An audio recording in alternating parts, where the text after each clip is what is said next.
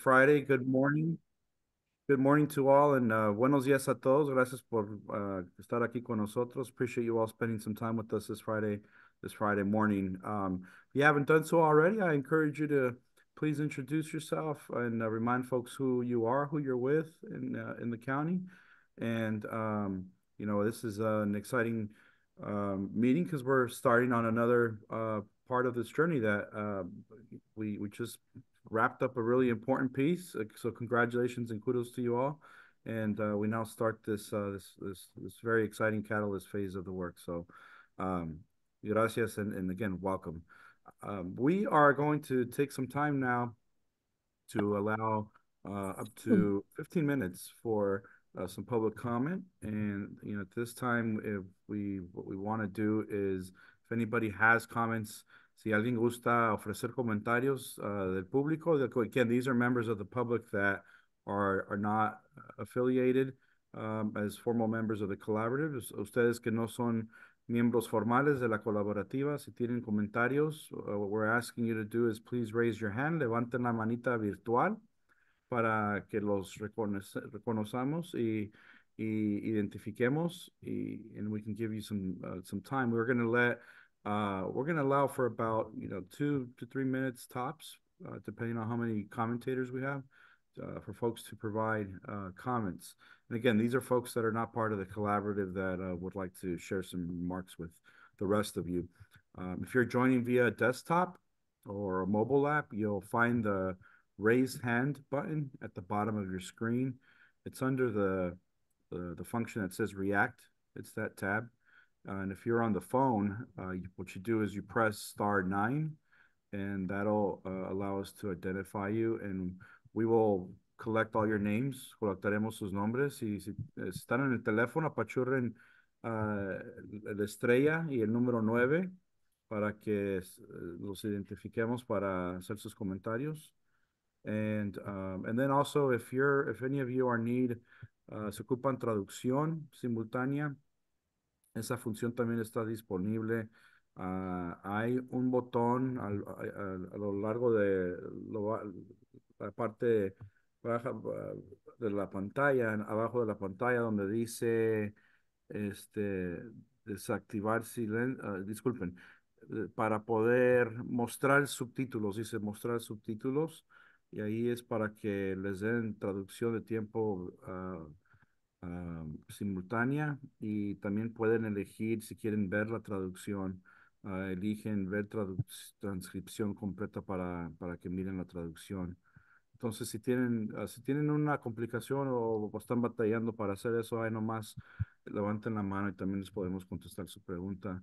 So, um, we're gonna so we'll take a we'll take 30 seconds or so a few seconds to give those of you who want to offer public comment vamos a darles unos momentos para ustedes que, que gusten ofrecer unos comentarios uh, que levanten la mano para, para comenzar con la lista to capture the names on the list and then we'll turn to each of you in the order that uh, we identify you uh, to um, give you the floor for remarks so uh, anybody wishing to wake, make uh, public comments, uh, please raise your virtual hand. levanten la mano para que los reconozcamos. And Jesse, I know you're helping. No, I mean, I'm, I'm monitoring on the attendee side where, yeah, because many of you, I mean, everyone on in the panelist view is, is on the collaborative and we have a, we have time for you to comment then. Anyone who's in attendee view, please raise your hand. I'm happy to promote you to panelists to kind of make any comments if you have them looking at the chat. I don't see anybody in the chat. Yeah. Let's give it 15 more seconds and then we can move on to the next item.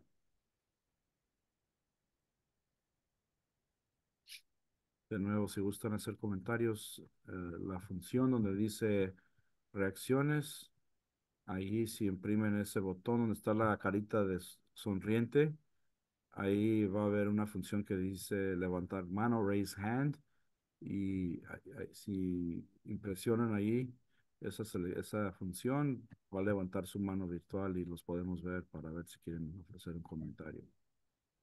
All right, seeing none, I think we can move on to the uh, next agenda item. Great, thank you, Jesse.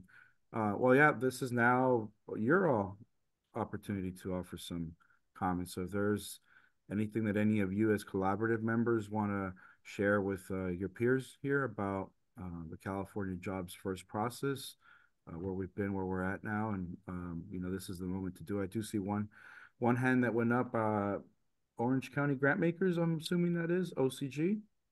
Hi, everyone. Yeah, I just want to give a shout out. Maria presented yesterday at our OCG summit about Catalyst, and she did fantastic. And there was so much interest from nonprofits, um, and people are really excited. So, really great feedback um, just about the initiative and the engagement from the community and everyone.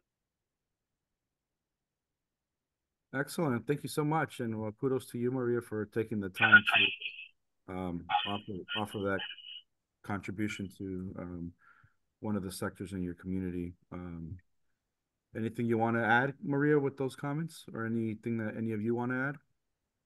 I mean, I'll say um, I think it helped so much to feel so welcome into the space, and and everybody's so warm and um, I did receive a few emails and LinkedIn messages. Uh, people gave me their cards. And so I asked people to please connect because I will be posting, and we'll get to that later in the agenda, but I will be posting the survey everywhere. Um, and so people are excited. Yeah, I'm like, just apply. It doesn't matter if you think you don't qualify, just reach out to us. Excellent. Thank you, Maria. Would anyone else like to offer any any updates, uh, any upcoming events or efforts that are getting underway in Orange County that you want to share with your peers? Or any comments or questions or feedback, uh, commentary you're hearing about catalysts that uh, in the community or questions that are surfacing about this next phase that maybe you want to address with the whole group here? And then we're, we'll have ample time to jump in and do a deeper dive, but maybe we can uh, give you all a chance to uh, maybe ask something really quick here. Kathy, I see you came off mute. Go ahead. Hi, um, thank you. Uh, just, I think you're going to be getting a flyer uh, in the near future here, but we are going to do something, another event for the region where we're inviting people from this collaborative as well as like the Orange County Workforce Development Board and really anybody in Orange County um, to join in on understanding what projects already exist in Orange County from the K-16 grant that was given a few years ago there's a lot of organizations, both educational and other, involved in some projects, and it might be valuable to build on some of the existing projects based on everyone on this call and what you're thinking of applying for um, in future project funding. So I'll invite you to the event. It'll be an evening event and um, it'll be at Orange Coast College. And it's really open to anybody in the public who wants to understand if they want to just take a lighter lift and join in and get funding through a collaborative with some other entities um, not just on your own. So thanks for that, Ish, and um, we'll get flyers out soon to you guys. Great. Thanks so much, Kathy. So everybody keep an eye out for that in the coming weeks and um, great opportunity to uh, lean in a little deeper on another part of this work. Uh, ¿Alguien gusta hacer un comentario? Estamos aquí en la, la porción de la agenda donde ustedes pueden ofrecer información de eventos que tal vez eh, estén a la vuelta, que quieran invitar a sus colegas o novedades sobre programas que están ocurriendo, iniciativas que están lanzando en el condado de Orange. Um, con toda confianza, si gustan compartir algo, este es el momento. Anyone else wishing to share any any any comments with your peers? Um, Ish, actually, I did want to elevate one thing real, real quick. Um, Annie reached out to me and um, had asked if I could share an event with the collaborative. I haven't sent it in an email, so I figured I could just use this space. So Cal State Fullerton Office of Government and Community Relations is inviting the collaborative um, and you know, other folks in the community to their third annual Energy and Sustainability Summit. It's pretty incredible. Um, it's Monday, October 21st from 10 a.m. to 12.30 p.m. The EV Expo will be from 9 a.m. to 1 p.m. in parking lot R. Um, so if you are interested, it'll be in the Titan Student Union. Reach out to me and I'll forward you the email. Great. Thank you, Maria, for mm -hmm. relaying that invitation from um, one of your one of your peers here in the group. Okay, we'll do a final call. Anything else anybody wants to share? Última llamada para compartir algo. Jay, I see you came off. Yeah. Go ahead, Jay. Yeah, did she say 10 p.m. to 12 p.m.? Um, no, usually I'm asleep by then. No. Yeah, um, that's what that, that, those that time doesn't work. That's a 14 hour span. um, it's uh 10 a.m. to 12:30 p.m. So, um, and then the EV Expo is from 9 a.m. to 1 p.m. in parking lot R. So I'd say just be there at 9. You'd be out of there by 1 p.m. and it is Monday, October 21st. Okay. All right. If you can send that to me, I'd appreciate it. Oh, of course, yeah, I'll send it to you. Okay, thanks. Bye. You're welcome. Great, thank you, Maria. Okay, well, I, I am not seeing any other hands or any other interest to share anything, so we will move in to our fourth agenda item. And this is just an opportunity for uh, a couple of us to provide some insight, uh, relay some information about um, our participation in this week's California Economic Summit. It was really great to see several of you there, uh, you know, Kathy and uh, Tony and Maria and Jesse and there may have been others of you that I didn't get an opportunity to stop and say hello, but um, uh, you know, as part of the staff team running around, making sure that we were offering our best uh, hospitality possible for you all, and I really hope that you all had a, a meaningful participation in Sacramento this past week. Um, I wanted to just offer a couple um, uh, sharing uh, learnings or or uh, highlight a couple things that were um, you know surfaced during the course of the two and a half days we were there, and then invite others to do the same. Uh, Tony, Kathy, Maria, Jesse, and others of you who were there, and, and I just want to say thank you for those of you who were there on behalf of this collaborative, on behalf of Orange County for uh, taking the time out of your week to to join us up there and make sure that Orange County was represented uh, and represented well um, uh, at our, our our statewide event. So thank you so much. But um, you know, just a couple of, really quick uh, sound bites on on the event. Um, obviously, you know, conferences like this cover uh, try to cover a lot of ground and um, you know hit the tip of the iceberg. We don't do a super deep dive, but we do offer an opportunity for folks to learn about some of the issues that are most pertinent to California Forward that we are looking to um, lean into further during the course of the year with partners. And so it's almost always described the summit as a train station for you to hop on or hop off some of the work that we're working on. But uh, but there was a lot of um, in on the plenary stage and in the breakout sessions and the, the associated events, uh, opportunities for folks to learn about uh, this regional economic development um, work that's being done throughout the state of California. We, you know, we had Governor Newsom with us on um, Wednesday afternoon, and he spoke a lot about this and highlighted some of the regions that are really um, uh, have taken this opportunity with the billions of dollars of investments that have come not just with this program, but uh, other ancillary programs in K through 16, climate collaboratives, um, high road training partnerships, all sort of moving in the same direction towards um, state investment around economic and work, workforce development to position the state of California to uh, really be um, in a in, in a in a situation where it can exercise its resi resiliency, it can exercise its sustainability with uh, some of the 21st century challenges that we're being confronted with around, um, you know, global supply chains, um, global pandemics, um, you know, international, you know, uh, conflicts that we're having and how that all affects our local economies as well. Um, climate resiliency, natural disasters, and how we can adapt and uh, mitigate those things. Um, we're seeing a lot of that these last few weeks on the East Coast. Um, and then just making sure that there's more opportunity that's spread across uh, more Californians, and especially in you know in, in, our case here in Orange County. So, so a lot lot offered on stage there by by the governor, but also other leaders. Uh, certainly, our CEO Kate Gordon had a lot to say about this work as well. Uh, and then we had several breakout sessions that did a little bit deeper dive into some of these areas uh, that so many of you care about, whether it be manufacturing, broadband, and other topics. Uh, there was uh, no shortage of opportunities to plug in and meet peers around the state who are doing comparable work. And um, many of you had the opportunity to share those best practices, share the resources, exchange cards. And so uh, that was really great to see people in in uh, in person community doing all of that. Uh, and then really quickly, um, there was a uh, several several of you had uh, the opportunity to represent Orange County and um, an, what we called an investor exchange, where all 13 regions that are doing California Jobs First work um, had an opportunity to hear from a perspective, a panel of prospective investors that were there, uh, philanthropy, federal government, state government, to uh, hear about your projects, uh, come over to your poster board, uh, learn about your enabling uh, sectors, your your um, your industry priorities, and and see where there was an opportunity to continue conversations and be able to start doing some matchmaking with um, the planning process that you all just completed, um, you know, um, recently with your your regional plan and the implementation phase. And so that was exciting. There was a full house uh, yesterday afternoon to see um, your peers from across the state engaging in those discussions and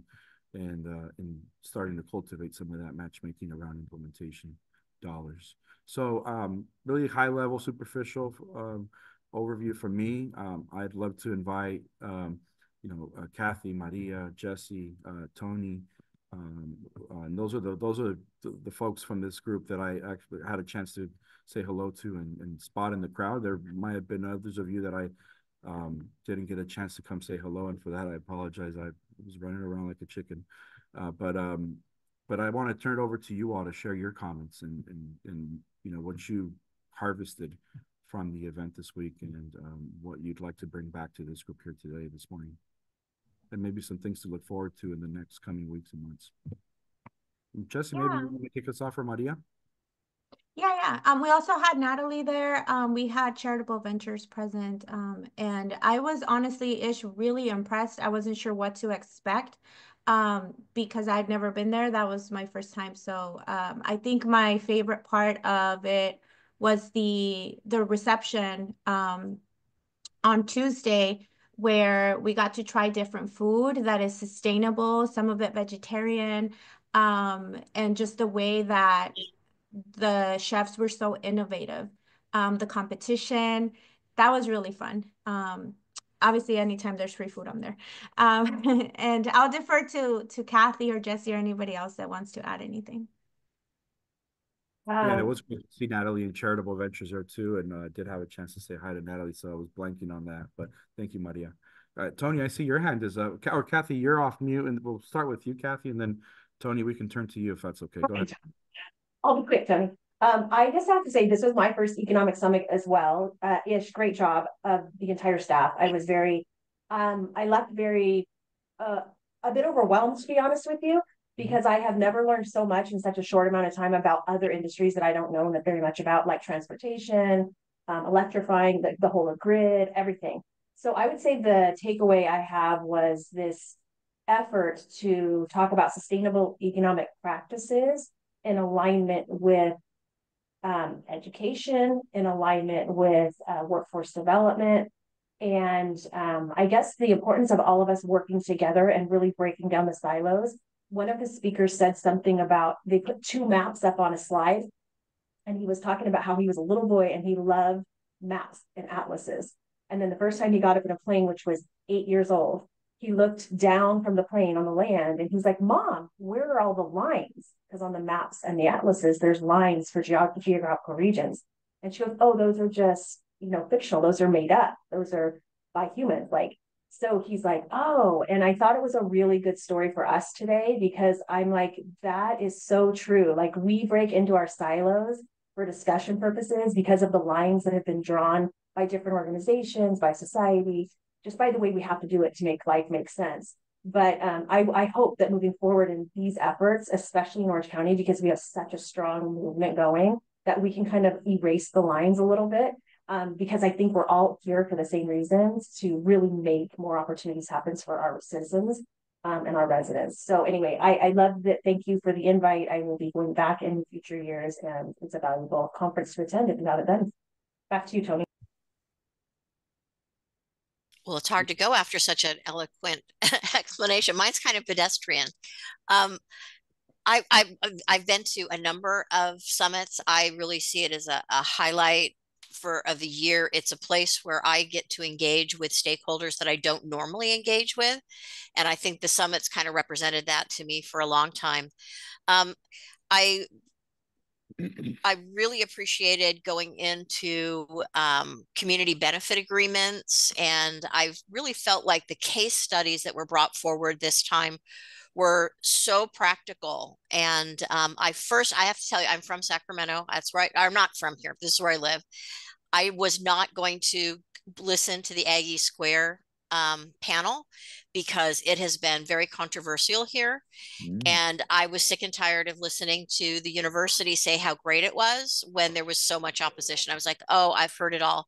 I thought the panel really brought forward one, the pick of the people, the discussion of what community actually received, how long it took to do i mean i, I learned a lot and it, as i said it's about something that's in the news and i live here so i, I really appreciated that.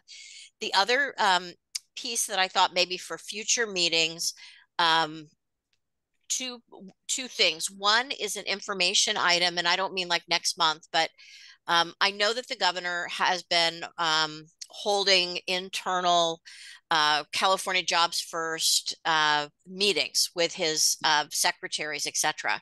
But it really isn't very transparent. And so I would love for us to try to figure out a way to uh, I don't know if somewhere the agendas are listed. Maybe it's after the meeting. I really, I'm really not really quite sure. But they are going to be both doing internal coordination for state programs, but also guiding the development of the state plan, as as Ish was talking about. That's going to be the integration of these uh, four plans, one of which is we're involved in. So I just thought, is there a way for us to track it so that's mm-hmm. a, a question. And then the other thing is, I thought maybe we should, in an intentional way, and again, I don't mean next month, but in an intentional way, look at those four plans in Orange County um, in the way of how do they now relate to our plan so I know that we we've had great representation from the K16 collaborative, but maybe we need to now say, okay, what where are you and what do we have and how do they fit together? And then of course the same with a career tech, etc. Great, thank you, Tony and, and Kathy Boyd for uh, for those uh, great report backs to the group on on your experience this week. Uh, I, I don't see Natalie here, but if, uh, if there's anyone else from the collaborative uh, that was there with us this past week. I certainly would love to uh, hear hear from you all and have you all uh, share what you gathered from the experience with your peers. Otherwise, uh, Jesse and Maria, I'll let you have maybe final comments on this item. I provided my comments already. Thank you, though. Yeah, and as I would say the only two highlights uh, that haven't been added are, you know, they did we you'd, you'd have um, the director of the governor's office of business and economic development, and then the uh, this and then the secretary of labor and workforce development. And they really just talked about that kind of they understand the commitment and the sustainability of this program. That hopefully in two years it just doesn't all go away, and so they're thinking about intentionally. I think that was really a meaningful statement um, to know that I mean those people at the at really at the highest levels are trying to drive this to to maintain it. Um, kind of as Tony said, you know, just so you know, there's some swapping. There was someone at the who was at GoBiz, went to the Labor Workforce Development Agency, now back at GoBiz. Someone from GoBiz is now running the California kind of like workforce board, and so you're gonna really see the the the alignment and the coming together because the personnel were there and trying to bring all the things that the workforce board is doing versus all the things that the labor agency was doing with GoBiz and vice versa. So um, you're going to see a lot more coordination on that front. And then on the uh, the investor exchange, the one thing to note is um, as people we start thinking about projects really you know not all funding is going to be grants if you think about having strong projects. And they really talk about from all the different investors like how much you know they want a return on their investment and so i think you know as as all of you as collaborators start deliberating as we get to that point about what strong projects are and, and if those are in the proposals thinking about kind of how people are adding up all the dollars. The, the term is capital stack, but really adding up all these different sources of dollars, and that not all of those sources will be essentially just just grants and that there are other sources out there and we have to think about the sustainability of projects. How is it generating revenue in order to kind of pay back some of those loans? So just something to think about when all of you are you know considering and deliberating on the projects as well. That's great Jesse that's a great takeaway as well that the you know these projects are going to require not putting all your eggs in one basket but really looking across different funding streams and uh, both public and private uh, we had, I think, a representative or two from venture venture capitalist firms, for example, that were there to offer their comments on like, here's what we're looking for, and here are questions we have for all of you. And there was a couple of uh, guinea pig regions that volunteered to uh, do uh, these practice pitches uh, to the investor panel, well, with everybody else in attendance, and provided. Um, uh, I think the other regions an opportunity of, of a template that they could be using to uh, prepare those responses to questions that investors will have about uh, the projects that you'll be elevating for um, for funding. Linda, you had a question. I see you came off mute. Go. I, I do. Uh, it's not so much a question as it is just a comment, though, just to remind uh, the collaborative that what you've just described, Ish, uh, is one of the core specialties of Octane OC and the Octane's nonprofit accelerator. So that's one of the things that we do, which is prepare. We, you know, the, we have a very rigorous methodology that we work with our commercial companies and with our nonprofits uh, to help position them uh, better for uh, serious investment. So we can help with that as well. Excellent. Well, that's that's that's exactly the the purpose of this collaborative is for you all to lean on each other and open up doors and opportunities where you see them to uh, advance and support what you're all building here together and what you're elevating for uh, for resourcing on on implementation. So uh, definitely keep those those resources that Octane offers in in mind as you advance with with this work. Jesse, I'm going to turn it over to you now because you have a heavy dose of information uh, this morning. You're going to actually walk us through agenda items uh, five through eight, um, and so we're going to turn it over to you to uh, sort of give us the meat and potatoes of what to expect in the coming months. So Sorry. let's let's turn it over to you. Shared screen. Here. moment. And while Jesse does that, any questions from anybody else uh, based on what you just heard from um, you know the summit conversations that took place? Preguntas que tengan algunos de ustedes sobre los comentarios que se acaban de ofrecer uh, tocante el evento que ocurrió esta semana en Sacramento? Preguntas o comentarios? Okay. okay. Well, Jesse, when you're ready, yep. floor is yours. It's up. Apologies while it loads. So yeah, the the agenda topic we uh, completed the planning. Kudos to all of you for all that hard work. And now we've started the very first meeting of Catalyst. Um, so I kind of want to just make sure that we're reset, understand kind of what's ahead of us, um, think about um, if, if there should be a better meeting process and logistics, we're happy to incorporate those. Now is, is the best time to kind of reset and think about um, how best to proceed moving forward. So uh, one thing that has come up from the state uh, is that they would like an investment playbook. You'll see here, and we're going to pull it up later, but you'll see it kind of hyperlinked. There is one in San Bernardino that the state has kind of looked at as a model uh, that they would, again, they, they will have more guidance, but for now, they think that investment playbook is something to model after. They'd like some draft of this uh, by early Jan early by January of next year, with the final deliverable of June 2025 uh, I, I, we want to wait for that initial guidance for all of you to see and, and we can discuss. I am curious how these deliverables line up with how they think regions are going to select projects and deploy capital, both when it comes to implementation and catalyst. But again, wait to see. The purpose of the playbook, I know most of my slides are wordy, but the whole point is I want you to take these and save these as notes. Uh, so I don't kind of want anything list, uh, missed. But um, you know the state wants to know what the priority projects are so they can think about as tony talked about how should they position themselves? How much funding should they be allocating budgetarily to some of these things instead of just guessing what the demand is? Look at these reports and say there's a there's a significant demand in this type of thing so maybe we should have significant funding here instead of funding something that goes undersubscribed in another area. So it's one is just like our reports it's very informative to the state to know what's happening in its in, in the regions of the state. And then it's also for the region to be able to have this playbook to talk to investors and funders and say, you know, this collaborative has said, here are our priorities. You know, what kind of funding can you bring to the table? So that's its dual purpose. Again, more to come, but know that we're going to be marching towards this uh, pretty immediately, uh, especially once we get that guidelines. Chess here, a question in the chat. Yeah, um, sure. If this, uh, this, report is meant to be virtual, uh, electronic online, or a hard copy paper, or both? Uh, I think they've mostly been comfortable with electronic PDF versions. Um, so again, I mean, if you if you'll see the other one, and because we were going to get to it, that this hyperlink is a is actually is also a website. It's more of a website than it is a physical PDF. So that's could be one form that we can choose to use. If we do the PDF, it can be on the Jobs First website, and I'm sure that the state um, will also the, the state has a new website around Jobs First, and I'm sure they're going to post it there, which is where our regional reports are now posted. I think another hand came up. Yeah, we have Linda with the with the question or comment. Go ahead. Yeah, yeah. Uh, Jesse. Um, sorry, because I I mean I read this. I read this material before today, but I'm still not okay. A draft deliverable will be due on January 15. A mm -hmm. draft of an investment playbook. That is that is all we know now. Correct.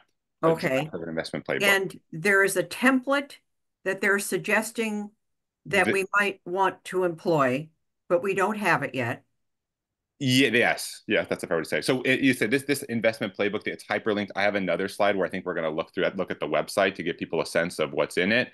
But that is what they've indicated so far is something mm-hmm. to model after, but it is not the definitive guidance.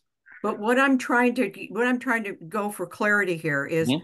is the is the playbook is the playbook a format for how we get to point A to B, or is it a collection of projects? See, that's what I because the, latter. the, the deadlines latter. are not.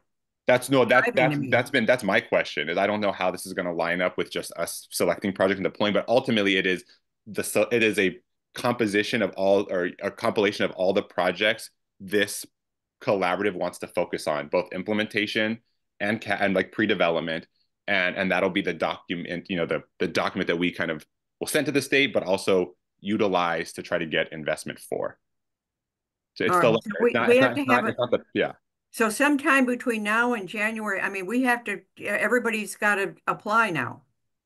That's where again i i want the guidance from the state because i don't see how these how this makes sense honestly like right I'm, I'll be, so i'm gonna i want to wait okay. before i judge but okay. that's where ultimately it's a it's a draft. So if you could see between January and June, I'm sure significant changes can be made. I just want I'm just letting you know this is what we're supposed to be marching for, towards so far, but they do need to provide greater clarity. And I've talked to other regions. I don't see why this is necessary now, um, and I think it kind of gets in the way of us again uh, reviewing projects um, and uh, submitting them. Uh, yes, I'll take other questions because I think we have other other things that might add to that answer later, Linda. But I want to take other questions. Uh, we have a question from Anna. Go ahead, Anna. Yeah, um, good morning. So just before we move ahead, I think um, I wanted to to confirm that I understand. You're mentioning we're doing a shift into Catalyst and that the state has our regional plans already on a website. Um, but I also was checking with you all about, you know, our opportunity to give any final feedback. And I think you replied, we will look at it once more. So could you just clarify that? Yeah, so that'll be an agenda item for the next meeting where, uh, as I said, like it's, it's a living document. So we would like to receive that feedback for the collaborative to determine whether they want to incorporate it. Similar to the regional plan part one, right? We had drafts people had suggestions on topics. The research did the uh, the researchers did the analysis, and we showed it to you before we incorporated it we will do the same thing. We will then, you know, if it's adopted by the collaborative, we can update it on our website and then we will send it to the state notifying them that this is the updated version. I can't guarantee that the state will take it. Um, uh, I guess, yeah, I can't guarantee that, but we will say, hey, the region made an update. Can you now update your website? Got it. Thank you. No problem. So yeah, we so we'll make that announcement too, Maria. Uh, sorry, Anna, and we will have it in the recap email about if people have that, please provide it preceding that meeting so people have time to review them so we can vote on it. Any other questions about this slide? I do have a, there is a question in the chat, uh, along the lines of Anna's comments. We have a comment from Luis. I invite you to come off and see if you wish to um, elaborate a little bit further, but uh, Luis is sharing that he had suggested uh, um, a, maybe a Google form that can be filled out to give a sense of what sort of projects might be um, eligible or, or, aligned with this funding, and uh, want to see if there was any consideration to that. Yeah, so that that Luis, that is done. Maria will review that with you uh, all uh, in a later part of the agenda, and our hope is to get that out early next week. So this collaborative has a sweep of those projects as we come into the next meeting in December. Um, you guys, it, it, can kind of inform you to make sure that we have uh, our your framework or your criteria, whatever you want to call it, in place mm-hmm. based on that information. And I just want to quickly note too that in the chat, a couple of you have dropped some uh, helpful resources. Uh, there's a link to the example San Bernardino playbook. Okay. Yeah. Um, so thank you for that. And then Maria dropped a link to uh, the website from the Labor Department on where uh, the plans live. So yeah, thank you. And again, hyperlinked here. So if you guys have the deck, uh, you could you know or save the link now or hyperlinked here so you can get to it later if you want more time to review it. So implementation, from what we know now, it's supposed to be released in January. Um, well, okay, all of this is from what we know now. Released in January, approximately $45 million will be available, but it's it is competitive statewide and it's over three years. So each year they'll open another round of funding. Um, these projects need to be implementation ready, which is different than Catalyst, which is pre-development work uh, to get kind of projects to be implementation ready. Um, however, as I mentioned, you know, this um, this your body, this body has to approve it at the regional level, whether it be a letter of support or, or some other documentation for the state to even consider it um, at the state level. And again, just because we approve it doesn't mean it's going to get funded because all the other collaborators are doing the same. So now that is coming, hence why, Luis, to your point, a sweep of those. And in the survey, we can have people select whether it's an implementation and a catalyst project. So then you guys can look at it in two separate buckets, right? So what are the implementation ones? Just saying we kind of have to move towards this deadline until we get clarity on whether it's going to get pushed back. It'll be no sooner than January. Right now, that's what the state's aiming for but we'll see how where other regions are and where the and how the state if, if the state needs to get it out so quickly. So wait to see there, but that's coming on the implementation phase side. A big part of this work will be the sector investment coordinators. We'll have them all ready and kind of contracted for you by the December meeting, but just really want to go over what their roles are there will be some committed to outreach and engagement in the community. Um, as we think about kind of the catalyst funding that's available, you want to be able to support the, the, applicants and making sure they understand, you know, what, what are eligible activities and projects. Um, they will help us if we need to determine what's exploratory and last mile. Um, and then they will also kind of provide recommendations on which activity should receive funding. But ultimately, just like I think that's a staff recommendation, it's going to be your call. But a lot of these people kind of do this work day in and day out. So they might have, again, their judgment, their recommendations is something that should be taken seriously. They will coordinate with state and, and regional st uh, staff to try to see, again, how can we pull different source, different sources of funding together. In a place like Orange County, 9 million for those pre-development activities is wonderful, but it's not significant enough for us to kind of have this transformational change. And the same thing on the implementation side, $45 million each. We want to have grant writing consultation, try to help people write those grants, or at least provide advice on how to improve them when we think about these different pots of money. And when you think about potentially there could be federal projects that could get pulled down for this. Uh, we also want to track the, project, uh, the progress particularly of the implementation funds and maybe some of the er earlier catalyst funds that might get released on how they're doing because we, we want to fund it, but we also want to follow up. Um, and then we want to assist the, the this collaborative coalition um, in potentially submitting comments if the state releases some sort of draft RFP before implementation goes out. They don't, they have not answered that question on whether they're going to release a draft RFP open for public comment. Um, so if that happens, then we can look to the sector investment coordinators to help us draft those and submit those. Big thing longer term is we want to build ecosystems. I know Tony has a question, but let me just finish these slides. Build an ecosystem around the, the priority industry sectors uh, or, or, industry, industries or sectors. So they'll be doing that. Right? What are the pieces to have a, a strong ecosystem here in Orange County? Um, again, connect perspective or funded pre-development activities to other similar initiatives. Kathy was already talking about how she has one. Tony talked about the four plans that are happening and how they can kind of get woven together. So they're going to help you know um, mobilize that.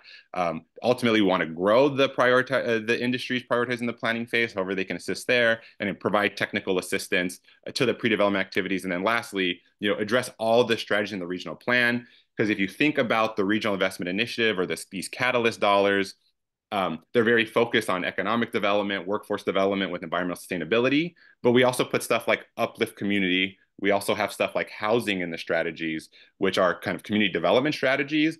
That is still going to be within their purview to try to execute those. So it's not as if we're only focused on the three or four things that are focused on high quality jobs and business business growth. So they will be addressing all the really eight top line strategies and the other things in the regional plan part two to try to move us forward in that regard as well. So with that, I know Tony has a question. Tony has a hand raised to add a comment. Any other questions uh, before we kind of start thinking ahead. I just want to make sure we reset. This is what's going to be kind of in front of us to what degree. Um, but yeah, any questions about what's been presented so far? Yeah, we have a question in the chat after Tony's uh, completed sure. with Go ahead, Tony. Yeah, I had a, I had a suggestion. Maybe we should start to pull together a FAQ that's on the website um, that both goes through the definitions of things that we have, mm-hmm. but okay. also um, I really like these slides because I think this is a question that's going to come up a lot. Like, what's the role of a sector investment coordinator? Or is anybody doing X? You know, it's like, yes, we have somebody. So I'm just thinking a, a prominent place that we can be saying, you know, this is what we already know. That of course, there's things we don't know, but this is what we mm-hmm. do know. Um, and and the other piece I wanted to say, and I know the state is not describing it this way, but I think our RFP may have the when the projects come in, the one piece that they keep only looking at catalyst, I would think that when the applications came through, if there were projects that were close to implementation or mm. at implementation, we should be sorting everything. You know, like let's hear everything and then sort it out.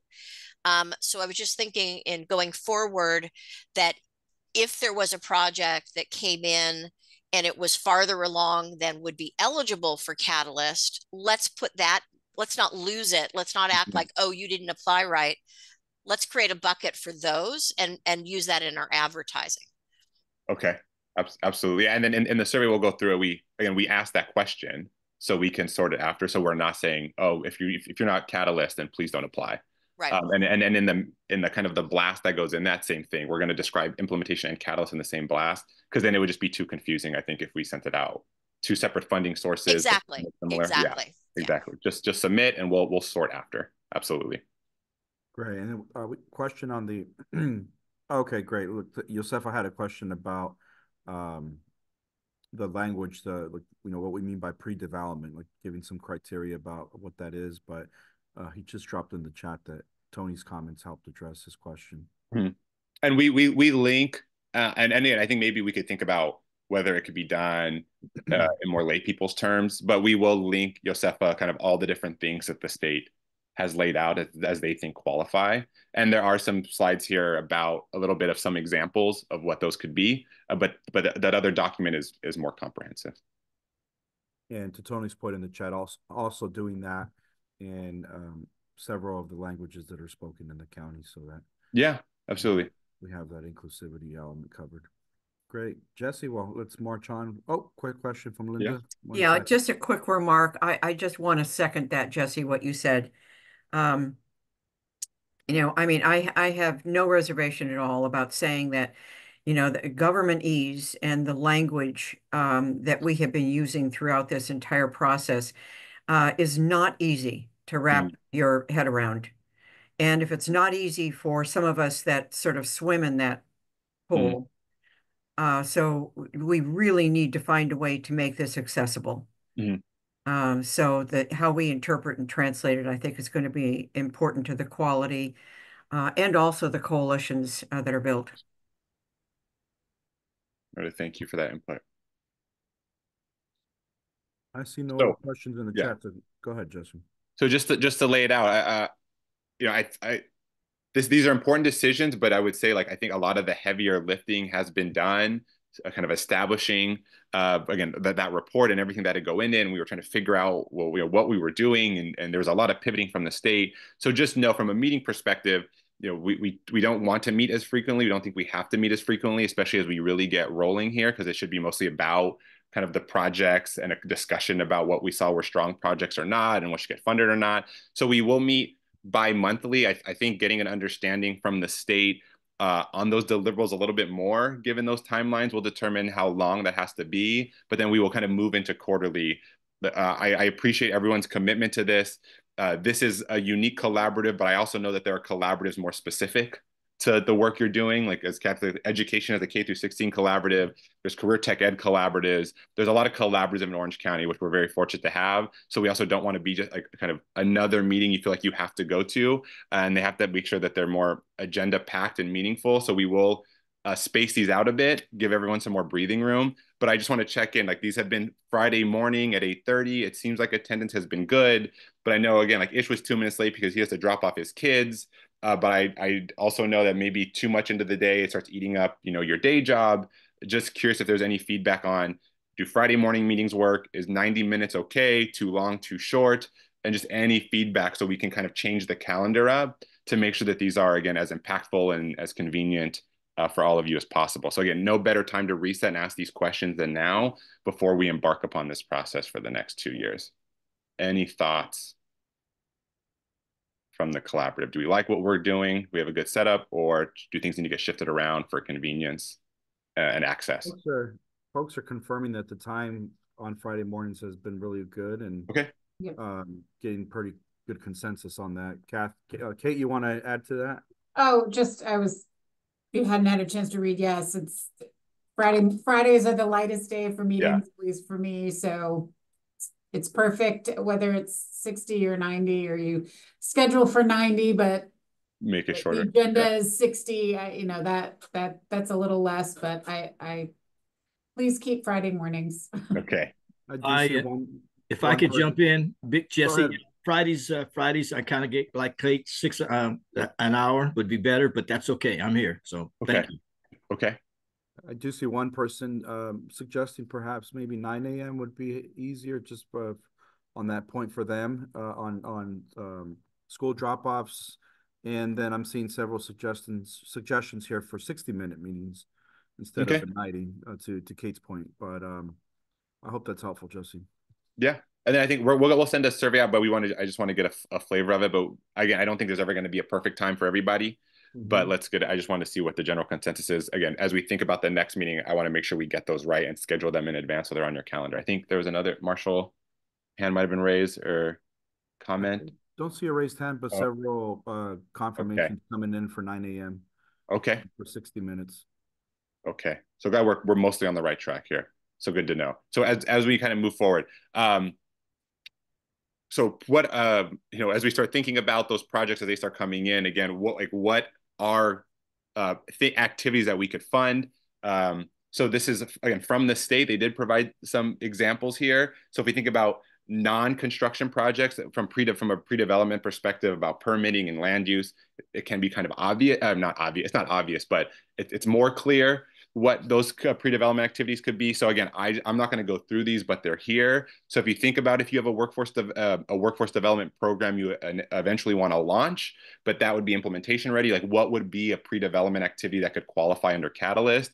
So here are some examples if any of you have thought about doing those things or doing these things or we see in the community, these are the things some of the state put a little bit more, again, other than just a list of things, I think it's, it's a little bit more clear, like, oh yeah, I, I could see how uh, we could be doing something in these bullet points here. So comprehensive needs assessment, recruitment strategies, developing the curriculum. Uh, so these are all, all options and the, the slides are here. I want to move forward. I just kind of have it in writing for the sake of time. Here's an example of a digital cooperative platform and what that could be. So if it's not workforce related, again, it's writing the business plan, which is like critical. Do you have the contacts for the people who would even use the platform? Do you have their buy-in?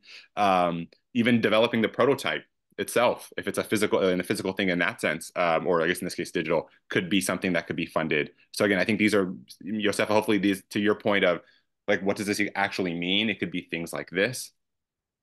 And then a revolving loan fund is something that has been talked about. Uh, so we have to assess which ones are in Orange County and, and, and, and who they serve and how effective they are. But that could be one of the things that could be set up with kind of Catalyst pre-development. The one thing I will at the bottom, again, note, and the state always has this language about, you know, you can't replace um, you can't replace certain dollars. So just know that it has to be kind of additive to the work.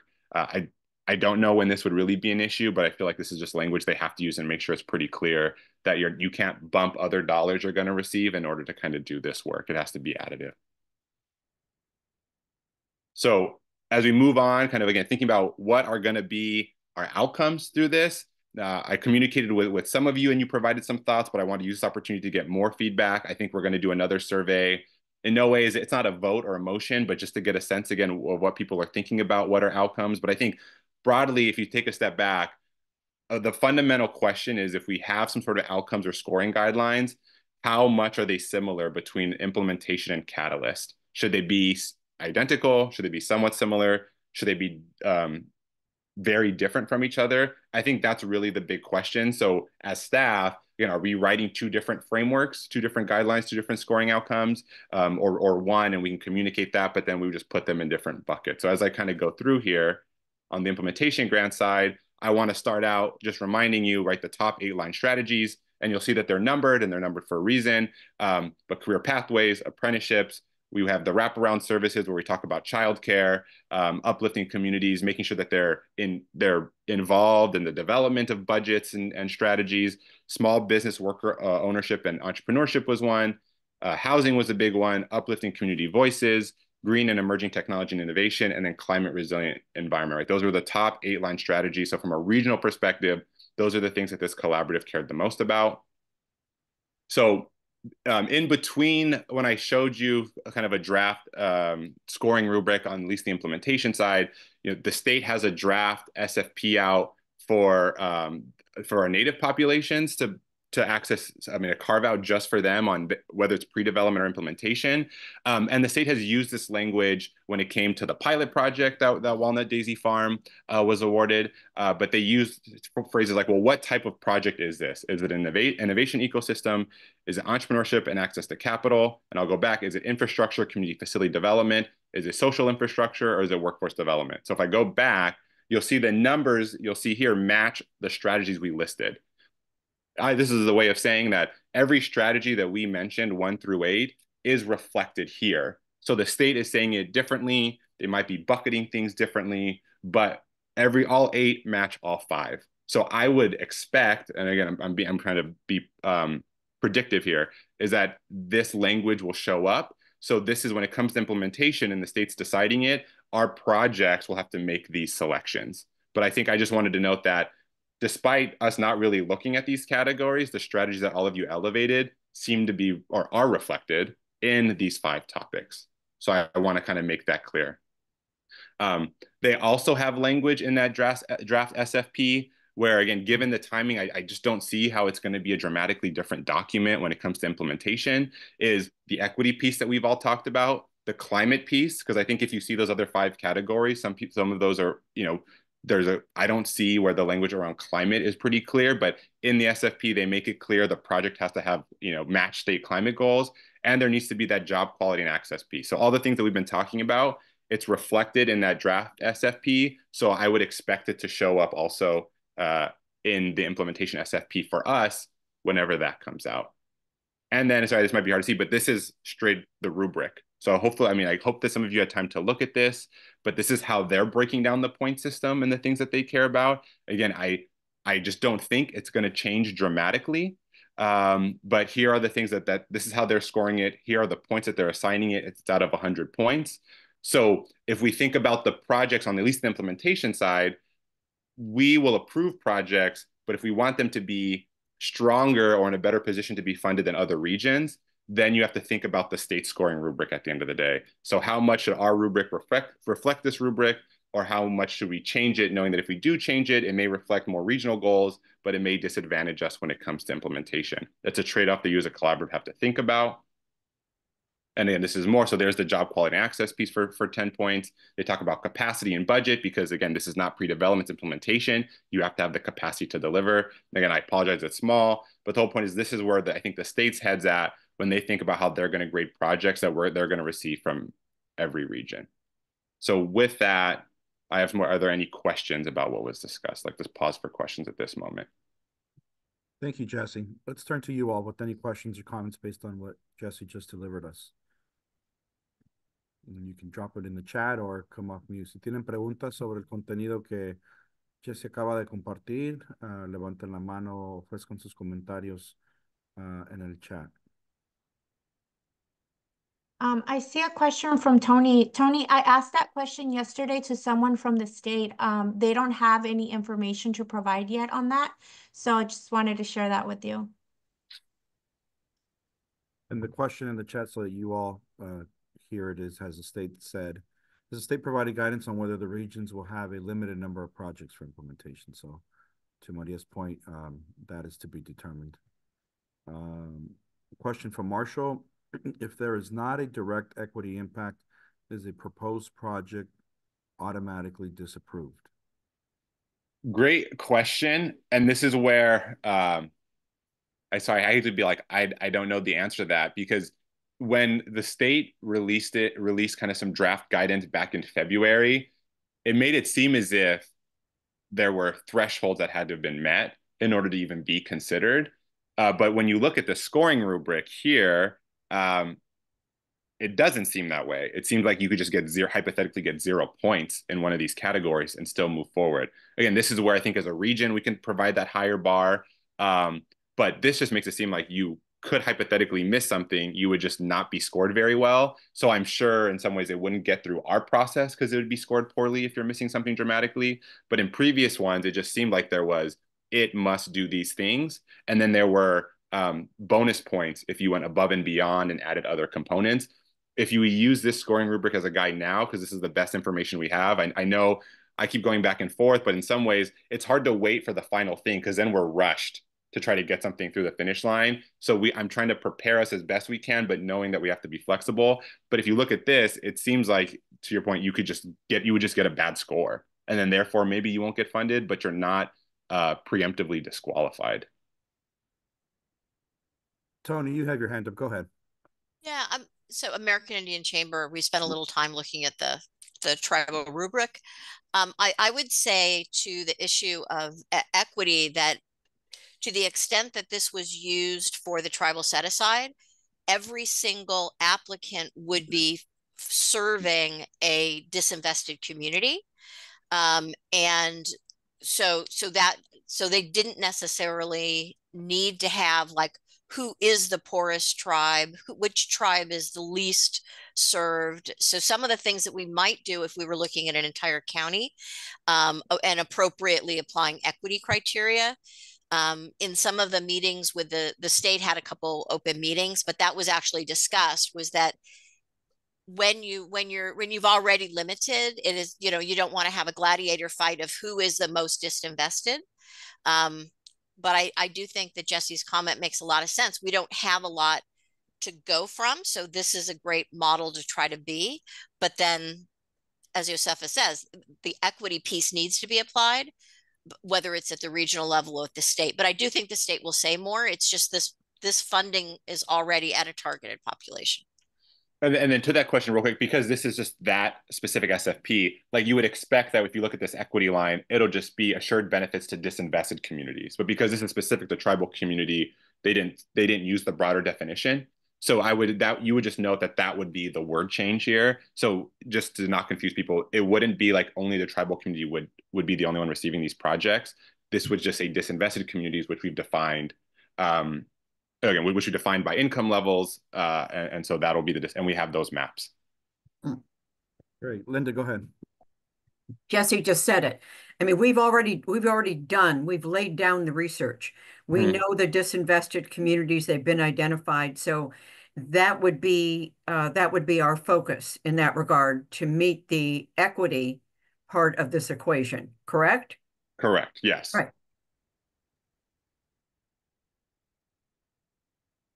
Great, thank you. So anything else about, again, this is the best that we have in predicting what we're probably going to see in January.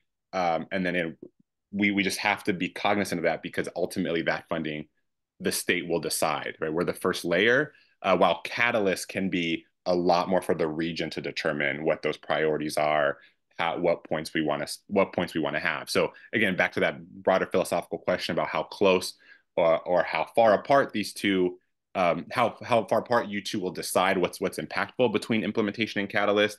I just want to kind of bring that up. So I think this is for discussion. I think we'll send a survey out to get kind of everyone's opinion, but I kind of want people to maybe explain some rationales here. You know, maybe you can convince a few of your colleagues. So I think I'm going to leave this here. Maybe we'll take kind of the first round, right? So how similar should the rubrics or outcomes be? Um, so on an outcomes perspective, right? So if we care about workforce, are we and we have apprenticeships, what's that number more or less that we think we would like to get through through this work but leveraging other dollars? So is success you know 100 apprenticeships? Is success 1000 apprenticeships that are funded through this work? On this worker cooperative small business entrepreneurship is that you know 50 businesses have been started? Is it the growth of some that already exist? Is it the creations of those that don't exist? These are the things that i think you know if you think about we can think about outcomes um, and then you think about creating a rubric from those outcomes or do you create the rubric and then the projects will kind of determine kind of what those outcomes could be based on that rubric? So what should the outcomes be of this initiatives um, about the state rubric what don't you like or don't like? Luis i know you're one who made who who sent me comments prior. You know for us a disinvested community is a household making about 96 to 90 thousand dollars. Is that too high you know should should we go lower because those are people who are um, obviously the most disinvested or are we narrowing too much then? Um, do we have in the state the equity was 10 points, just like climate uh, and just like job quality and access? Should one of those be higher? Uh, so those are all things that what you might want to change around the state's rubric if we think about creating our own. Um, how much should we allow the implementation funding to dictate um, what we want to see? Tony brought up this comment especially now because of budget cuts, these dollar amounts are much smaller, and really, you know, the money is might be in other state um, other state grants that could be aligned with this work or federal dollars. So maybe just because it's the same implementation, how much do we want to allow that uh, for us to copy and paste? And does that hamstring us when it comes to other things we want to accomplish? And then if you feel like they shouldn't be similar, you know, please let me know. Again, what should be emphasized, de-emphasized, added, or subtracted? So we'll start there with those set of questions again, more for discussion. We're not getting you to cast your vote yet. We'll get a survey because I'm sure there's going to be ranges here, but we wanted to open up the space for there to be dialogue amongst all of you because you're going to have to approve the final version. Anna, you have your hand up. Go ahead, Anna. Thank you. Yeah, just to start thinking out loud, especially to that first question on what should the outcomes be of this initiative? And I know you you had asked Jesse, and I haven't gotten back to you either. But um, I, when we think of the of the outcomes of um, uh, especially worker ownership work and, and business development, I, we we like to look at some of the factors of quality of life improvement as opposed to numbers of businesses. So some of the factors that we look at are is there an increase in wages? Is there um, an increase in uh, safety in the workplace? Is there an increase in um, voice and decision making of people? So, what are all of the different impacts in the community members as they grow their businesses? Um, so I, I, for starters, I would like to lead more towards some of these more quality of life um, mm-hmm. indicators that there is an improvement in disinvested communities, as opposed to being able to say there's a number of, you know, new businesses um, without without knowing that they have that that difference that they make in the lives of people. Mm-hmm. Um, so that's that's that's to start on that question. Um, and I don't know on the one hand for for implementation the about having a different rubric or not for implementation versus catalyst. Um, on the one hand, earlier when folks were mentioning like, oh, it rather than confusing people with the mm-hmm. different applications and whatnot, it could be interesting to just have one. Um, but in the scoring part, maybe it's something that in the back end, um, it is something we want to look at differently for Catalyst. Uh, Catalyst projects are the ones we we you know we want to help get there mm. to to the phase where may, you know implementation maybe we're we're more um we, we need to see that they already are able to um, Mm. make the project real. So I wonder if there's an opportunity to have like the the back end or you know the that that that the collaborative looks like be a little bit more tailored to each of the projects without like overwhelming the the public that wants to you know apply. Yeah. Um. So those are just some thoughts for for Yeah. me for starters. Mhm.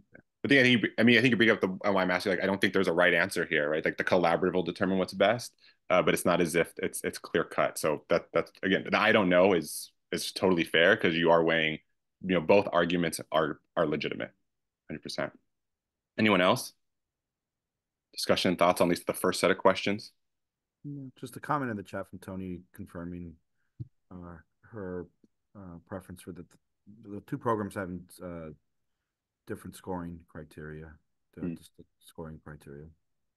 But other than that, any other comments or questions on on uh, these last couple slides? Preguntas o comentarios sobre esas últimas dos um, uh, series de información que, que ofreció Jesse sobre la criteria. Hey Ish, this is Josefa. Ahead, Can you hear me okay? You can, Yeah, I'm ahead. sorry. I, had to jump in the car. Um, we you know, fine. Anna uh, made a good point, and it, it brought a question up for me that do we need, will it be helpful for us to stay within status quo? So if we think about entrepreneurship, the traditional metrics are those businesses start, survival rates, growth of revenue, retention, and creation of jobs. That's just what our industry does. But to Anna's point, will there be opportunity to expand how we uh, look at impact? Um, or would that be sort of counted against us because that's not how the state typically looks at um, it, entrepreneurship? So uh, it, I, I know that's an unfair question to you, but it's just a comment that I thought I'd lift up based on what Anna said. Uh, you know, status quo versus innovation and looking more deeply at what impact looks like around uh, something like entrepreneurship. So if I would just say like, if you and Anna can can send me what those would be, and then again we can try to put that together, and, and at some point, right, the, the collaborative. I mean, pretty soon we'll make a decision on more concretely what is it that we're going to care about, uh, score and judge. Uh, so you know, I think that could be included, and I think that debate can continue to happen before people kind of approve it.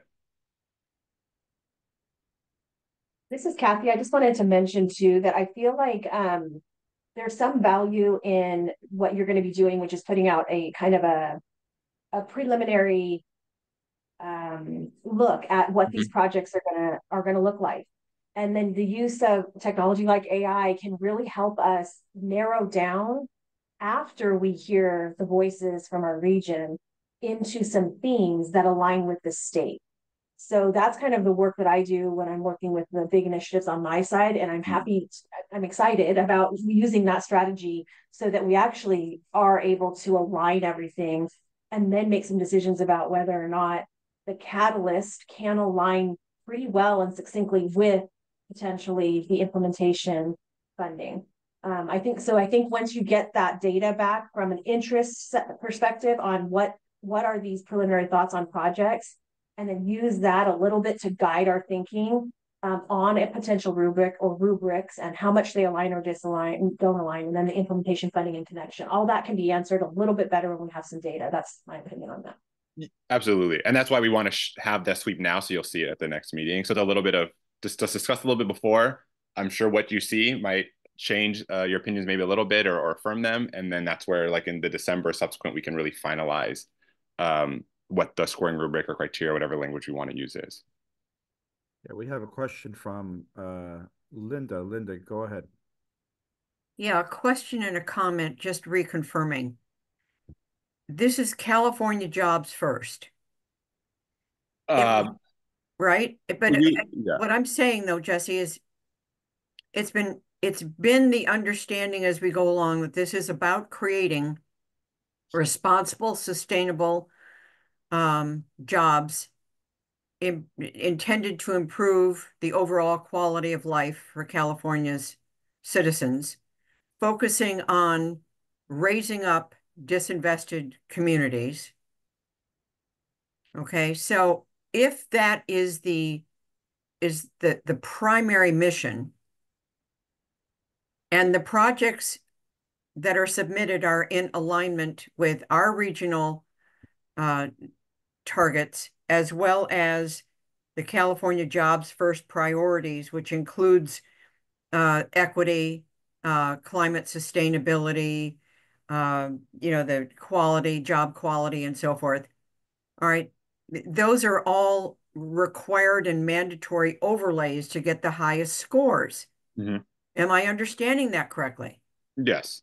Okay, so once again, it's not either or, and it's not, in my understanding, it's not choosing that uh, you know uh, equity has to be now. Equity is part of the equation, um, and it needs to be it, it needs to be part of the equation uh, for this to be a competitive set of projects that we submit. For implementation, correct. That's correct. Okay. So again, we're not revisiting when we talk about a rubric or how or the outcomes we want. The outcomes we want is, you know, would be that the, the projects that are submitted reflect the creation and sustaining of quality jobs that improve the quality of life and uh, and that meet all the other um, you know soft and hard you know, uh, infrastructure qualities that we have in the alignment factors. Yes, I, I was the last in person, unless, and I apologize if I misinterpreted it. It sounded like people wanted more tangible numbers, which maybe again, if, if people don't, we could it could be a little bit more qualitative and value based, like you're suggesting, Linda. But there was a sense of there wanted to be again, as I was kind of just throwing numbers out there, how many apprenticeships, how many jobs through this funding, that we want to get to. But if I misinterpreted the statement, then I'm happy to. From an yeah, outcome no. again, it could be yeah. again about it can it, we we can drop the numbers. No, I don't think you. Michael, I don't think you. Also made a comment, but I, I was sorry. See, I don't think you misinterpreted it at all. But what I'm saying is, I'm still hearing mixed messages, though. Um, you know, uh, Anna's suggestion to be more qualitative. I do think it has to have both properties, qualitative okay. and quantitative. And I don't think we can, I mean, I reasonably, I don't think we can make that assessment in a vacuum. I don't think we can say, well, you know, we insist that this project create 1,000 jobs at this category um, without having seen what's going to be submitted, which might give us a much better, um, you know, a much better landscape from which to decide you know, for example, if a project is going to create five jobs and we have another project that also meets the rubric and all the state alignments and meets our qual and it's going to create 50 jobs, then so that's what I'm saying. You know, until we until we see what's, what's yeah. submitted, I, I think yeah. it could be very difficult. No, absolutely. I think this is why the, the discussion. I, I agree because also on the outcome side, like if you if you stretch it too far and all the projects added up, assuming we could fund all of them, don't even reach that goal, then we can't say that that's going to be an outcome, right? So you is your point. You want to even see like what the summation of all these projects are are saying about job creation, business creation, climate mitigation, all those things as well. So, mm-hmm. I, but uh, yeah, I, I completely agree. That's why I think we. This is why we're not making that decision today. But I wanted people to kind of let out what their thought process is as far as what's the right direction because soon enough there will be there will be you know, significant decisions made on what is in, what is out, uh, what is it that we value or, or not value, what is it that we're going to prioritize over others? Because in the state, like I, I showed you, some of that was just 10, 10, 10, all things being even. You know, is that the direction this region wants to go um, with implementation, but also with Catalyst? Yeah, we have a question from Anna really quick. I'll, I'll just read what Tony dropped in the chat as well. Uh, she offered that projects could also include enabling activities. Mm-hmm activities that enhance the entrepreneurial ecosystem. Go ahead, Anna. Yeah. And Anna, the yeah. last one, and we'll go to the second half, just for everyone. Yeah, just to build upon um, I think what Linda was saying, I think it'd be it'll help it'll help us then with the the hmm. rubric to maybe have a sense of okay, um, not not that we put out requirements for your project needs to hit these numbers of jobs in order to be eligible, but maybe that we have on the rubric an understanding of, okay, um, what gets a higher score is actually those that can also uh, describe the impacts that they have on, you know, uh, on all of those things that we that we that we understand are um, you know, for certain and required, like equity and like impacts on quality of life, um, that we know, you know, what kind of number to provide because they demonstrate that they can meet them. Um, okay. So I wonder if it has to do more on the on the scoring. Um, yeah, on the scoring, uh, on how we end up scoring. Got it. Thank you. And then, so kind of moving into Catalyst, um, kind of question of how many rounds of funding should we have? Uh, because it's a two-year process. Uh, is the strategy going to be funding activities for lots of different projects, or are we taking projects just in the idea phase and funding them once we select them, funding them all the way through so they're implementation ready? So really like a lot of funding in sequence to a few projects. If we have a lot of quality projects, can we kind of essentially spread the money around a bit, move them up a little bit? Do we have a maximum and minimum amount of funding based on the ACE top line strategy? So on a, on the pre-development side, it's like, well, oh, I guess well, there's nine million dollars and there's eight strategies, so like a little bit over a million dollar per strategy. Are there some that we want to fund more than less, um, or just given the nature of that type of work, the activities just might be more expensive, and that kind of goes into also to the to, to the last bullet point as well. You know, th- through that list, and this is where. Sorry, let me go ahead and share a screen to another one. Where can we go here? Sorry, one moment.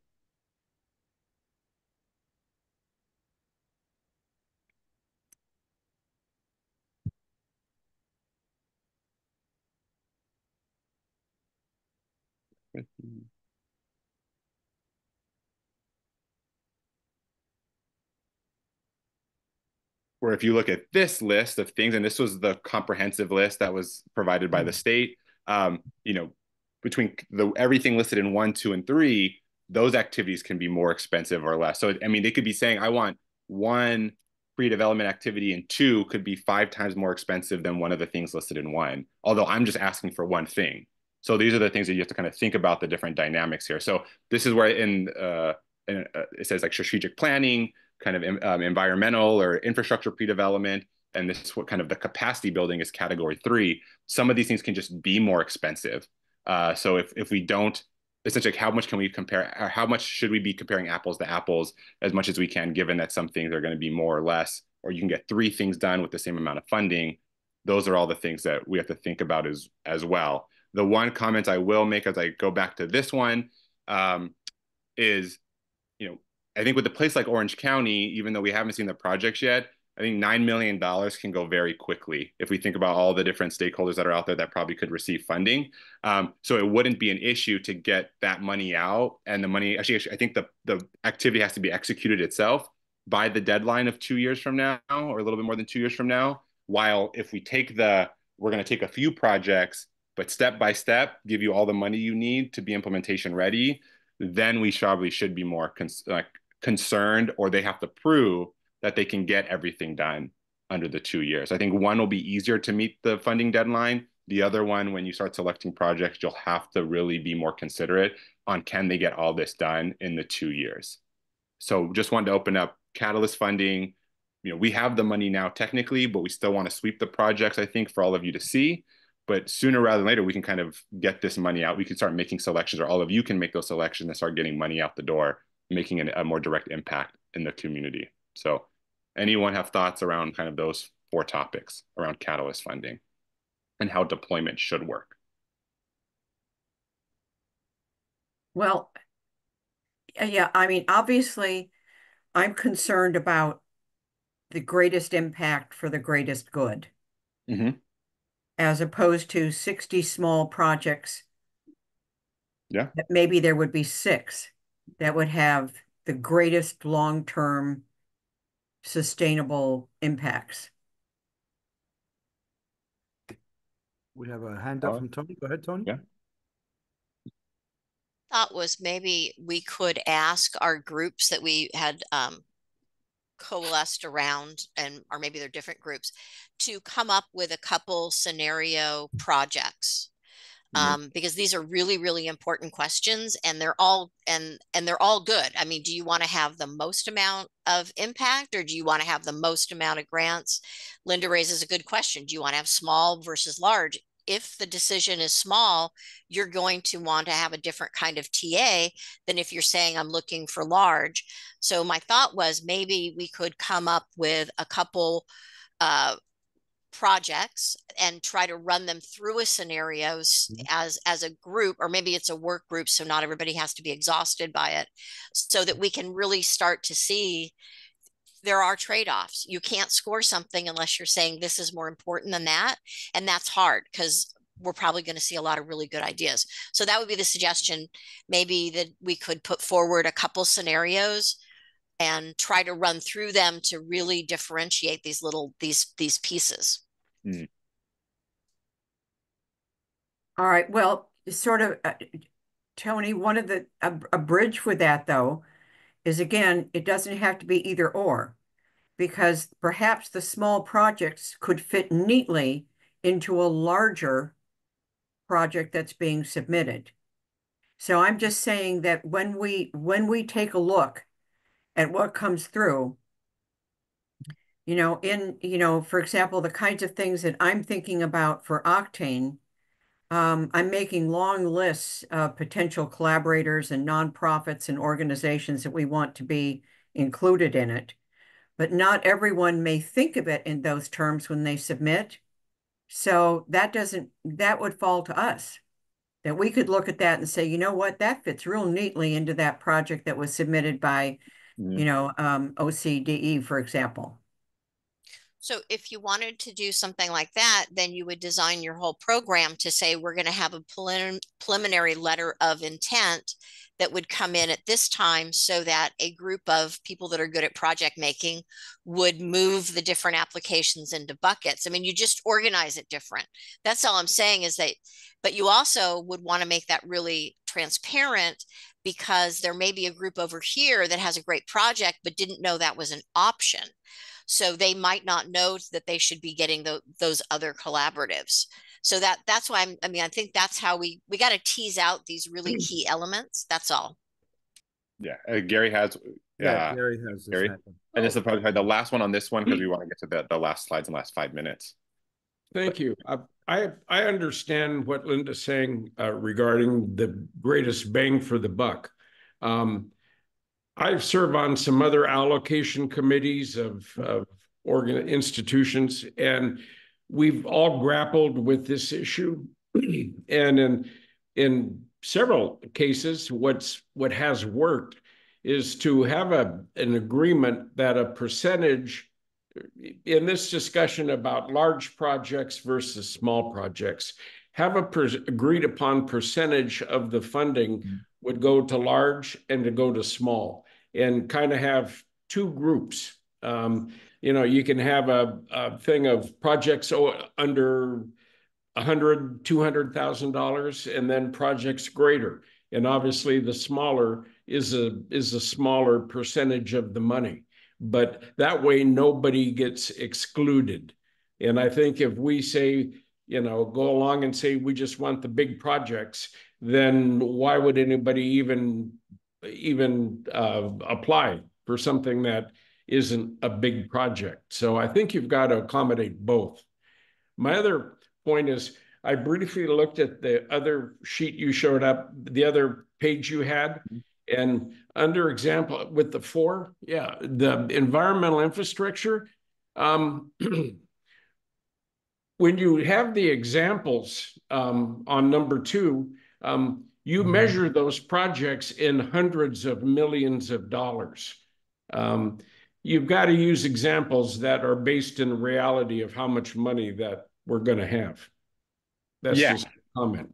That, that's and that's something I should tell. Well, I'll, I'll communicate to the state. I mean, it'll matter. It'll matter for this group. So great comment. But the state also needs to recognize that, and maybe because th- this was a holdover, and at the time they had more money. But right, I, I think that's the point, Gary. As I was mentioning, so, uh, these these can be very yeah. very different projects that have different, very different dollar amounts. Um, and so something that this group needs to consider when you're kind of laying out the parameters. Thank you. Oh, thank you. So, um, so let's just real quick, we'll go into the investment playbook because that was a quick question. We'll go to the survey. But again, it's, it's mostly just primarily a website more so than a PDF book. Uh, the state will provide more guidance, but just if you haven't had a chance to look at the website, so San Bernardino through their work, they have six categories. You know, they kind of name theirs a little bit different, but I don't think any of these are really different than the eight that were mentioned. Uh, but they kind of have it here. And I think if you scroll down a little bit more, you know exactly where the state got some of the rationale between a ready to go project, which is the implementation project, a last mile and exploratory. That's essentially the same language that's being used when it comes to this regional investment initiative. Um, and then if you kind of do click on one, so click on kind of entrepreneurship, it will load up which ones are the ready to go projects with their dollar amounts, which ones the exploratory projects within this category. And then it kind of explains the need, uh, what this will do, uh, what the objectives are. They have a, now they have a project PDF and then the costs. So this is just, I just want to show you, this is the best example we have so far from the state about how things are moving, but this kind of gener this more, a more clear narrative and story about here, the, here are the projects we care about. We're going to move on trying to fund these things. I guess here are the projects we care about, why they're important for the region and how much, how much money we need to kind of get those done. So that's that briefly investment playbook. And I have a hyperlink, so please kick and look, look at it at your leisure. And then project survey, I'll stop sharing here. We have two, we'll just give us two minutes for Maria to kind of show you that because we want to release it uh, or we will release it um, early next week. So Maria, if you could share screen, just show them the type of questions that are on there. We're happy to take some, if you have any recommendations on questions to send that to send them to us now and very soon, because we do want to submit this next week to give people time to apply. Mm -hmm. Um, okay, so I'll start from the top, which as I'm now sharing screen and looking at the survey, I'm like, okay, I see where I can make some improvements, right? We're trying to get some ideas as to um, what people are interested in proposing, what projects they they are looking for uh, funding for. Um, so here, I can improve that area, right? Uh, uh, include a description content for the survey. Um, so we start off with the name of the primary applicant, a brief description of applicant, uh, describe a summary of your project here, max a thousand characters, um, and then they can submit a Word doc in case they are interested in elaborating further. Um, where in Orange County will this project provide benefits? So they can click on one city, all cities, um, any city. And then we go to the next question, if applicable, where in Orange County will this project be located? Um, we then go to how would you define which stage your project is in? Um, so implementation ready, ready to go, or pre-development. Um, which option below best defines your project? Uh, innovation, ecosystem, entrepreneurship, infrastructure, social infrastructure, workforce development, um, and then which industry or industries, if any, would your project contribute to?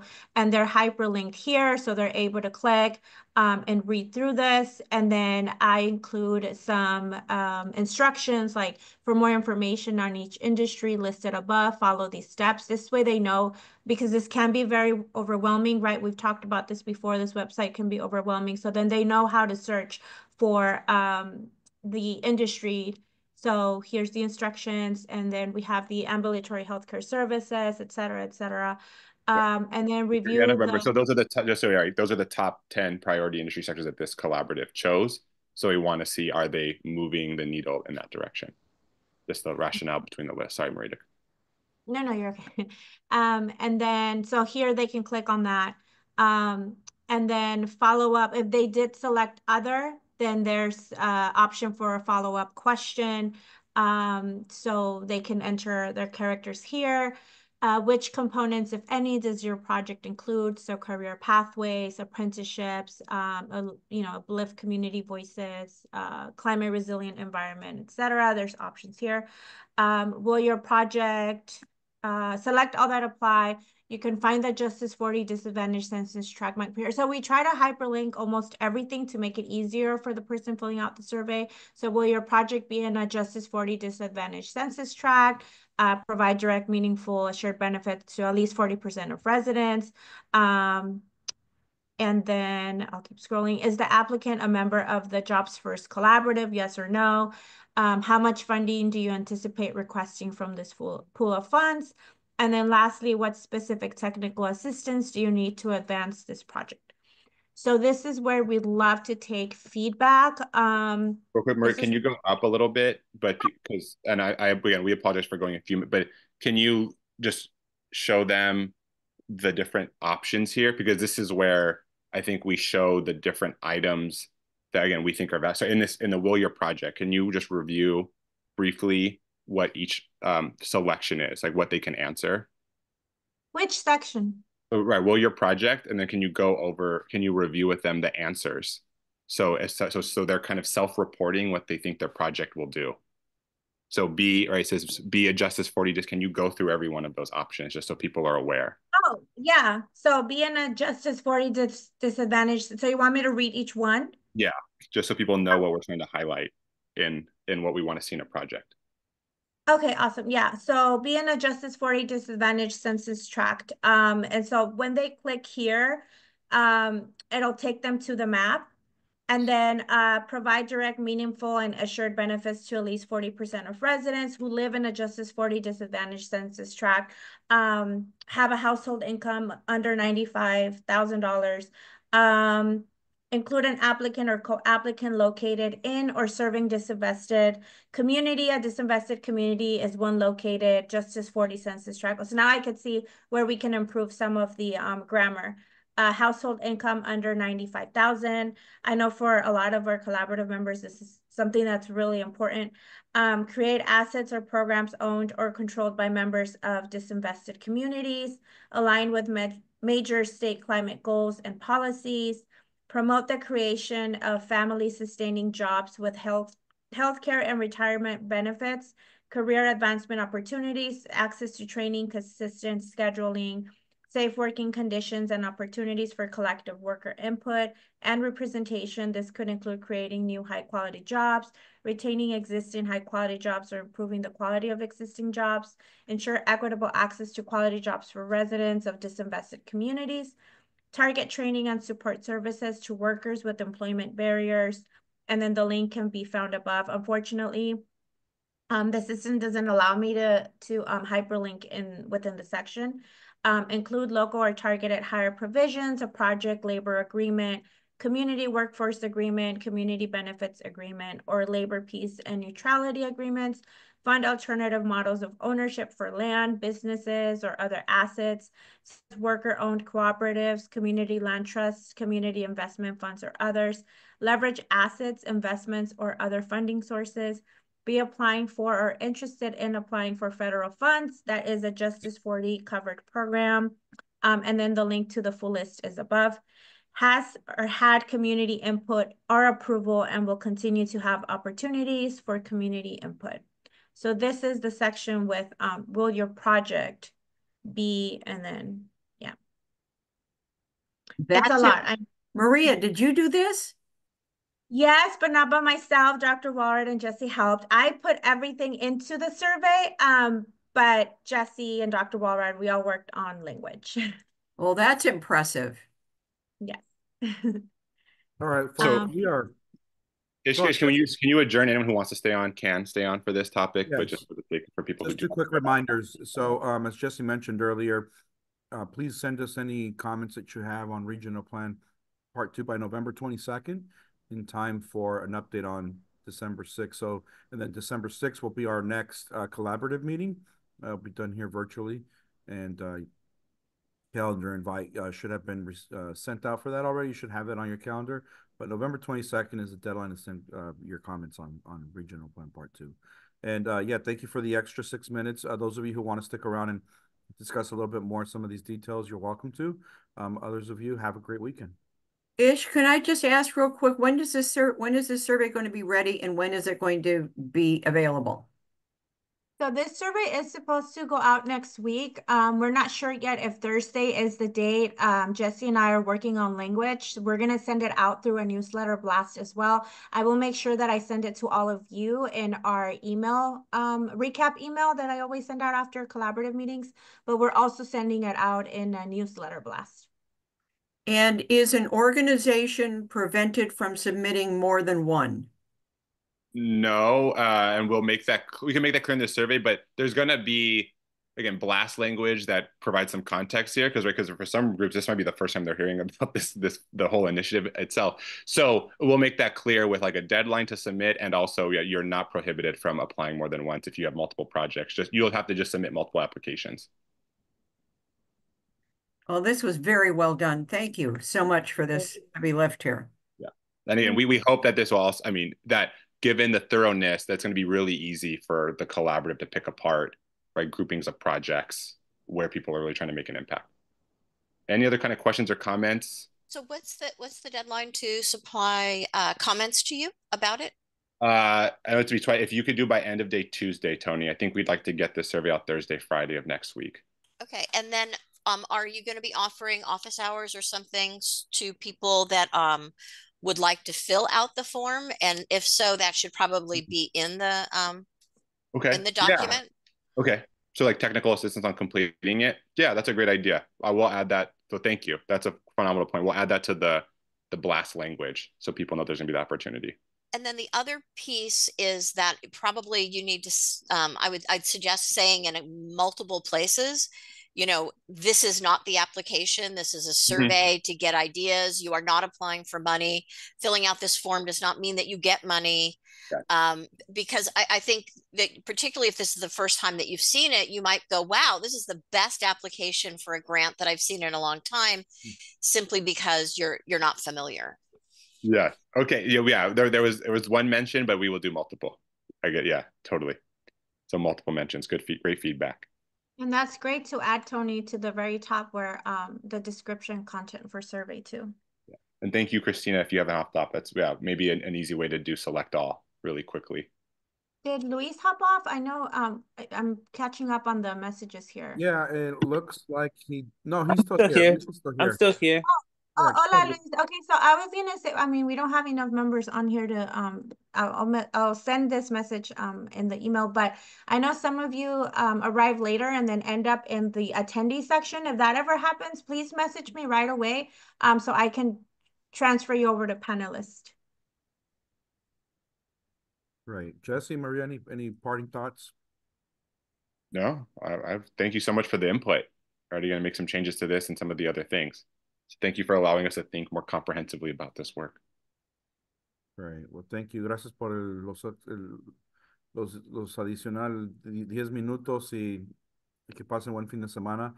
Thank you for the extra ten minutes. Have a great weekend and we will see you again on December sixth. And get your comments into both this process and regional plan part two uh, through follow-up emails. Thank you all.